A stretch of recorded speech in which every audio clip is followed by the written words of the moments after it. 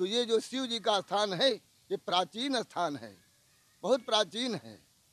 उन, उन्होंने यहीं आकर के तुलसीदास जी रुके। और उन्होंने ही ये कहते हैं कि वृंदावन से सूखी लकड़ी लाए थे। लतून करके इस पेड़ को, वृक्ष को लगाया। कुल्ला किए लोग कहते कुल्ला किया था। और बट वृक्ष उपस्थित हो गया। वृक्ष तुलसीदास जी का लगा हुआ है। तब है तेरे ये पूजनीय है और कटत गिरत रहत है।